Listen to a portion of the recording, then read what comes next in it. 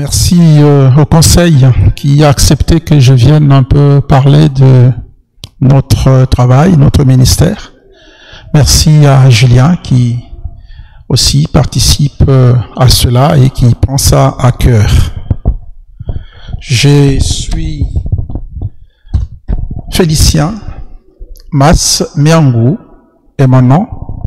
Félicien est mon premier prénom et Mas est mon deuxième prénom africain. Je suis pasteur dans une des communautés qui s'appelle la CAF, Communauté des Églises d'expression africaine, qui elle-même est membre de la Fédération protestante de France, dont je suis l'aumônier régional pour pouvoir, n'est-ce pas, représenter euh, les églises protestantes. Donc, euh, d'où je parle, c'est-à-dire par rapport à ces ministères, j'aimerais premièrement vous dire une, une chose sur ce travail ou ce ministère de la prison. Quand on parle de la prison, je dirais ici que c'est un mot générique, la prison. Parce que dans la prison, il y a la prison. C'est-à-dire, dans la prison, il y a la maison d'arrêt. Dans la prison, il y a le centre de détention. Dans la prison, il y a la centrale. Il y en a une ici à Poissy. Et dans la région parisienne, nous en avons deux. Une autre qui se trouve à Réau.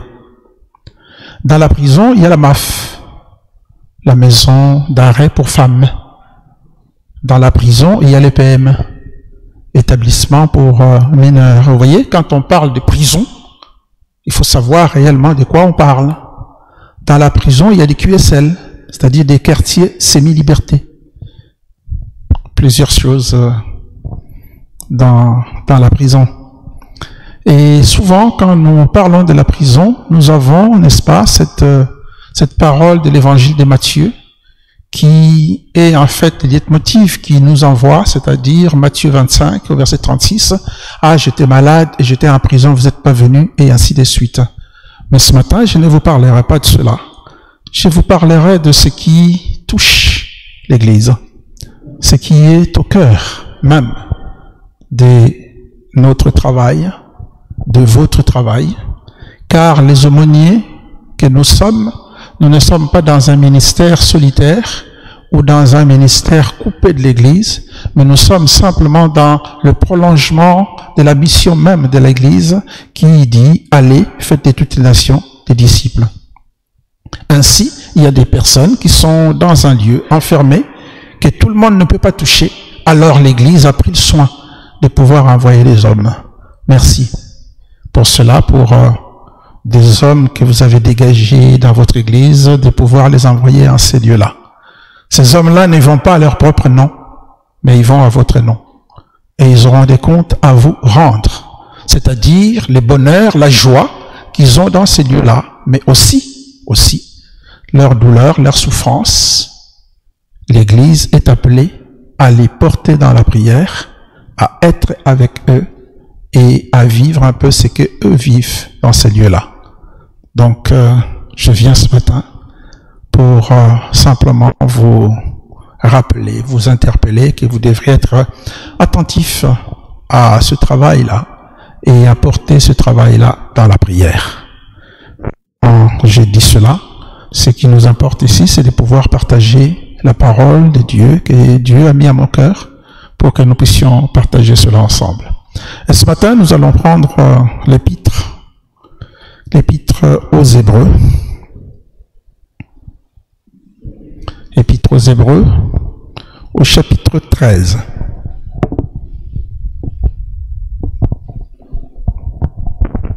Hébreux chapitre 13.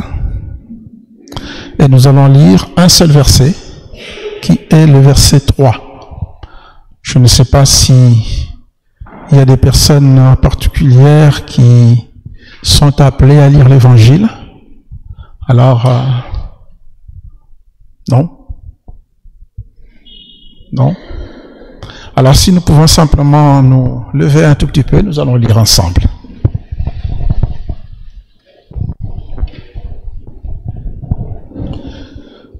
Comme une seule voix, nous pourrons lire ensemble Hébreu chapitre 13, verset 3. Allons-y. Souvenez-vous, soignez, comme si vous étiez prisonniers et ceux qui sont maltraités, puisque vous aussi, vous êtes dans un corps. Merci beaucoup. Nous pouvons nous asseoir.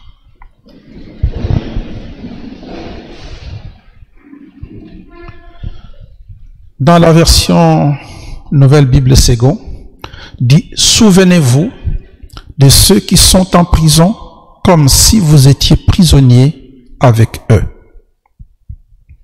Souvenez-vous de ceux qui sont en prison comme si vous étiez prisonniers avec eux. Ici, je veux simplement sur ce, ce verset prendre que trois petites phrases.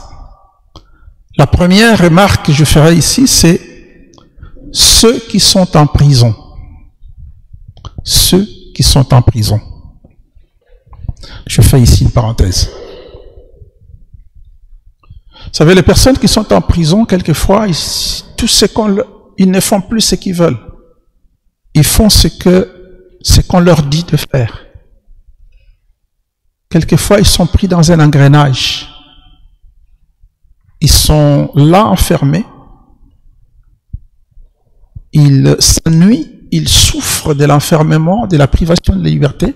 Et même quand on le laisse pour pouvoir aller promenade, la cour de promenade, et vous allez les trouver tous, ils tournent en rond, dans un sens. Alors si vous vous décidez de prendre une autre direction, les autres vous mettront ici, on tourne dans ce sens-là. La prison, c'est le lieu où on tourne en rond. Mais avant d'arriver là, ces personnes-là étaient des personnes libres. Peut-être qu'ils tournaient, tournaient déjà en rond. Peut-être que moi aussi je tourne en rond, alors que je suis libre. Ne suis-je pas dans une prison virtuelle? Et là, je me retrouve dans une prison physique. Et le passage que nous voulons voir tous ensemble ce matin dit, souvenez-vous de ceux qui sont en prison. Il ne dit pas les chrétiens qui sont en si grand nombre, des croyants ou des témoins, qui sont en prison, comme nous le savons tous. Si réellement nous avons la culture biblique, nous allons voir des personnes comme Joseph, Samson, Jérémie, Jean-Baptiste, Paul, Silas, au travers des siècles, d'innombrables martyrs comme euh, Marie Durand, George Fox, Bonnefère, Martin Luther King Jr. et bien d'autres. Il ne dit pas ici ceux qui sont internés, il ne dit pas des innocents et des coupables. Non, pas du tout. Ingénieux et bon ou méchant, tous ici sans distinction, ce n'est pas la personne qui compte ici, mais c'est la condition du prisonnier. Les prisonniers, ceux qui font ici ce matin l'objet du souvenir de l'Église. Il faudra tout faire pour que les églises reconnaissent et assument cette tâche. Se souvenir non seulement de protestants ou de catholiques ou d'autres chrétiens dans ce lieu, mais ici, se souvenir de la condition de ceux qui sont en prison. La prison aussi comprend ici toute la tâche que l'aumônier doit pouvoir faire, c'est-à-dire c'est une tâche globale.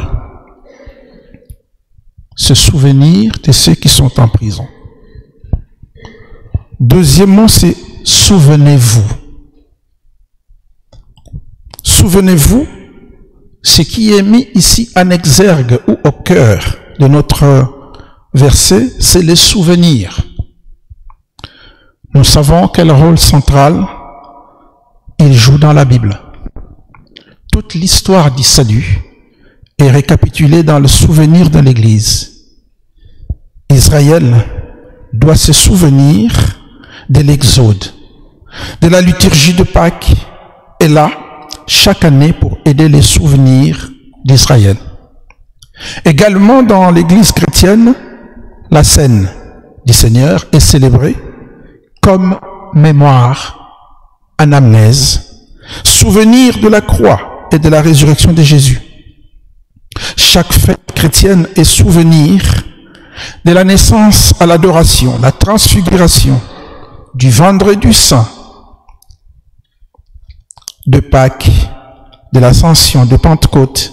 Ici, ce qui est au cœur, c'est le souvenir. Donc, la mémoire de l'Église est un lieu privilégié. Comme dirait d'ailleurs Augustin. Augustin l'appelle le vrai temple de Dieu. Dans ce lieu saint, dans ce sanctuaire, il y a la place pour ceux qui sont en prison. Qu'est-ce que cela veut dire? Cela veut dire simplement, ne les effacez pas. Celui qui est en prison en un sens est socialement effacé. D'ailleurs, nous avons deux mots. Quand quelqu'un rentre en prison, on dit il est tombé en prison. La prison veut dire comme il est enseveli maintenant. J'ai ce privilège de faire euh, toutes les prisons de la région parisienne. Le lieu où je fais le culte à la prison de Fresnes s'appelle une fosse. Eh oui. C'est-à-dire que on est tombé, on est enterré. Et le lieu, comme aumônerie, est là pour le relever, pour le sortir de cette fosse. Et c'est ce qu'on dit, n'est-ce pas, en grec, guéréo, c'est-à-dire ressuscite. L'aumônerie est le lieu de la résurrection. Je fais encore ici une parenthèse pour votre connaissance de la prison. En France, actuellement, il y a, depuis avril, 71 000 personnes détenues. C'est beaucoup. Et dans les établissements, alors qu'elles ont été conçues pour 61 000 places, vous voyez un peu, il y a des lieux où ça fait 117% de surpopulation. Il y a même des établissements qui ont atteint 200%. Et dans les 71 000 que je viens de donner ici, le 20% sont dans la région parisienne. Et dans la région parisienne, c'est-à-dire dans l'île de France, il y a 13 établissements. 13 établissements actuellement avec 40 aumôniers. Vous voyez que c'est insuffisant. Mais la prison, le lieu de l'effacement, le lieu de l'oubli. Moi, je viens ici pour dire à l'Église, souvenez-vous. Souvenez-vous de ceux qui sont en prison, comme si vous y étiez vous-même. Ces souvenirs, ça veut dire simplement la prière. Bonifaire écrit une lettre pendant qu'il était en prison en 44, où il disait ceci, pour moi, c'était souvent un grand soulagement de penser. Les soirs à tous ceux dont je sais qu'ils intercèdent pour moi, qu'ils soient enfants ou adultes, et je suis convaincu de devoir beaucoup de protection dans ma vie à la prière des personnes connues et inconnues. Ces souvenirs dans le sanctuaire de la mémoire veut dire prier. Je viens ici pour dire à l'église de Saint-Germain, priez pour ceux qui sont enfermés. La proximité de Saint-Germain à Poissy. Je me souviens à l'époque où j'étais devenu aumônier en 2002, dans l'église de Poissy, c'est-à-dire à l'époque c'était encore l'église réformée de Poissy, c'était écrit dans le cahier des charges. que la prison de Poissy revenait à l'église réformée, aujourd'hui église protestante unie, mais il n'y a plus personne là-bas qui y va. Il n'y a plus d'aumônier là-bas. Si ça vous revient, ce n'est pas un hasard, c'est-à-dire les fardeaux et entre vos mains. Troisième remarque que je ferai ici, comme si vous étiez prisonnier avec eux. Voilà ce que sont les souvenirs chrétiens. C'est un souvenir tissé de solidarité. Ce n'est pas un souvenir qui garde les distances, bien au contraire. C'est un souvenir qui solidarise. À l'époque, il y a un fondateur d'un groupe qu'on appelait, qu'on appelait les Quakers, qui s'appelle George Fox. Lui, à maintes reprises, s'était retrouvé emprisonné. Alors, il raconte dans son journal que quand un ami était mis en prison immédiatement, 10, 20, 30, se rendait chez les juges et demandait aussi d'être emprisonné avec eux. Ce souvenir veut dire se rendre présent. Un souvenir qui devient présence, comme si vous étiez prisonnier avec eux. C'est sûr, vous ne l'êtes pas, mais même nous, les aumôniers qui allons dans ce lieu-là, nous sommes là simplement comme une présence, pas une absence. La présence de l'Église, la présence de Christ. Que Dieu bénisse ceux qui ont ce fardeau à cœur de pouvoir aller à ces lieux-là, non en surpuissance, mais simplement comme une présence. Nous incarnons ici les souvenirs de l'Église. Alors, euh, corps et âme, nous sommes là, simplement pour que le souvenir de l'Église soit au cœur. Voilà le message que j'aimerais partager avec vous ce matin. Dans les sanctuaires de la mémoire, Là où l'Église se souvient de Dieu, de ses grandes œuvres, elle se souvient aussi de ceux qui sont en prison. Le souvenir est contre l'effacement social. Le souvenir devient alors une prière. Le souvenir devient une présence. Merci pour Martine, courageuse, pour pouvoir aller à ces lieux-là, mais elle n'y va pas à son propre nom. Elle y va à votre nom. Merci à Pierre. Il n'y va pas à son propre nom. Il y va à votre, à votre nom. C'est-à-dire, ils ont des comptes à vous rendre pour la mission qu'ils effectuent en ces lieux-là. Notre Dieu est toujours un Dieu d'inattendu. Quand nous y allons, nous, nous, ne savons pas qui nous allons rencontrer. Nous ne savons pas ce qui va se passer. Et nous ne savons même pas ce que nous allons dire. Mais parce que vous, vous êtes en prière et que vous nous soutenez, alors Dieu met au moment opportun une parole qu'il faut et qu'on peut annoncer là-bas. Je termine simplement pour vous donner un témoignage personnel.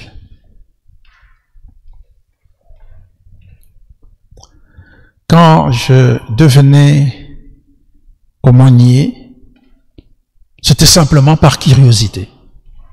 Je voulais aller comment ça se passait. Je voulais aller voir qui était derrière. Et le Seigneur m'a saisi de la même manière qu'il avait saisi Zaché et je suis devenu aumônier. Vous savez, pour pouvoir parler aux gens, il faut quelquefois connaître leur background, c'est-à-dire leur arrière-plan. Un jour, je reçois un coup de fil d'une personne de Marseille qui me dit, est-ce que tu peux aller voir quelqu'un qui est enfermé à la santé? Ça fait trois ans, il n'a pas de visite. Alors j'y vais. À l'époque, à la santé, quand les personnes étaient deux, trois, ça va. Mais quand une personne était seule dans la cellule, elle était censée être dangereuse. Mais nous avons appris, on nous a formés comment on y va? Je suis allé, j'ai frappé et j'ai ouvert. La personne m'a regardé avec les yeux. Je ne savais pas qui il était. Euh, je dis non, je suis aumônier, je viens vous visiter et je viens de la part de tel. Dis asseyez-vous. Je m'assois. De quoi devrions-nous parler avec une personne que je vois pour la première fois? Ben, La seule chose, c'est de regarder autour. Qu'est-ce qui la lie? Il y a des photos de famille, photos des enfants. Et nous avons parlé de sa famille et de ses enfants. Ainsi, j'étais parti. Mais en lui faisant une promesse, je reviendrai. Je reviendrai avec un collègue. C'est intéressant de voir que quand le Seigneur envoie ses disciples, il les envoie deux par deux. Et à l'époque, j'avais un collègue qui était au aumônier national. Si je peux nommer son nom, il s'appelait Jean-Marc Tipeux. Alors je suis allé le voir, j'ai dit, viens, j'ai visité quelqu'un, mais peut-être que toi, tu auras quelque chose à le dire, parce que moi, je n'ai pas vraiment trouvé. Et dès que nous étions ensemble dans la cellule, il a vu la personne, et c'est là où je su qu'il était. C'était un Corse. Alors, je présente l'aumônier, qui était l'aumônier national, et lui, il dit, vous savez, moi j'étais à la CIMAD où j'ai tenu deux mandats de secrétaire général, vous connaissez la CIMAD, et lui dit, qu'est-ce que c'est la CIMAD En gros, il dit, ben, la CIMAD s'occupe des étrangers. Et il bondit, il dit, ah, on fait la même chose alors. Et lui dit, mais qu'est-ce que vous faites? Elle dit, parce que moi aussi, je m'occupe des étrangers. Mais à la différence, je leur fous la bombe.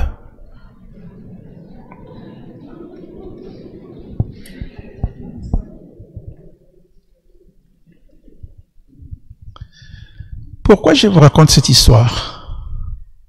Je vous raconte ça parce que le premier jour où j'y étais, je n'avais rien à lui dire. Mais ce jour-là, j'avais quelque chose à lui dire.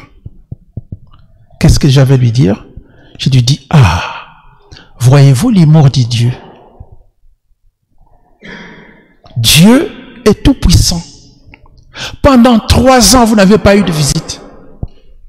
Pendant trois ans, vous avez souffert de cela. Qui Dieu a envoyé? Vous voyez très bien que ça saute aux yeux. Hein?